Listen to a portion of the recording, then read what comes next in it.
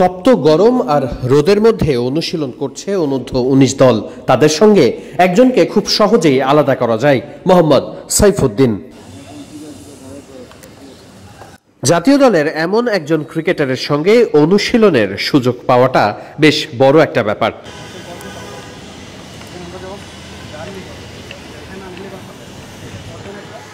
ঠিক এভাবেই যুব দলের ক্রিকেটারদের নিজের অনেক অভিজ্ঞতা আর পরামর্শ দিচ্ছিলেন মোহাম্মদ সাইফুদ্দিন।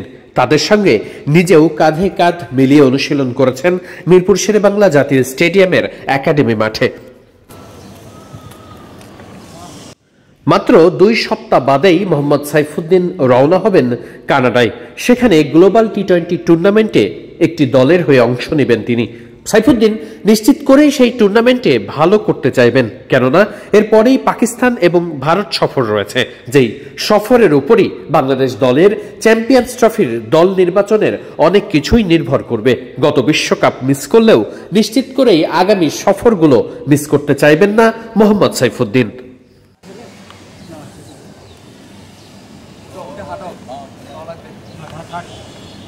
নিজেও যখন তাদের সঙ্গে অনুশীলন করছিলেন, ঠিক কি কি করতে হবে সেগুলোও বলে দিচ্ছিলেন যুব দলের ক্রিকেটারদের।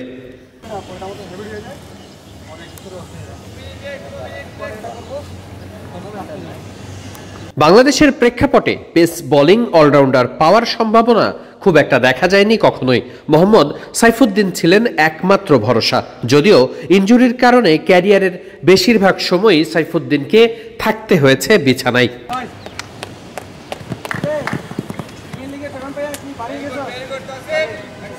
নতুন করে গড়ে ওঠা যুব দলের এই বহরে আছে বেশ কয়েকজন প্রমিসিং পেস বোলিং অলরাউন্ডার সাইফুদ্দিনের পাশে যে ছেলেটা দাঁড়িয়ে রয়েছে, তিনি নিজেও একজন পেস বোলিং অলরাউন্ডার নিশ্চিত করেই সাইফুদ্দিনের কাছ থেকে সেরা অভিজ্ঞতার গল্পটাই নিতে চাইবেন যুব দলের ক্রিকেটাররা। ক্রিকেটে একটা কথা রয়েছে, পরিশ্রম করলে তাতে ফল আসে।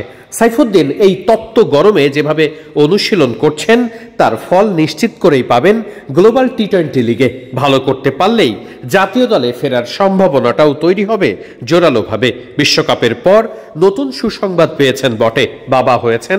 সবকিছু মিলিয়ে সময়টা বেশ ভালোই যাচ্ছে সাইফুদ্দিনের পরিশ্রম।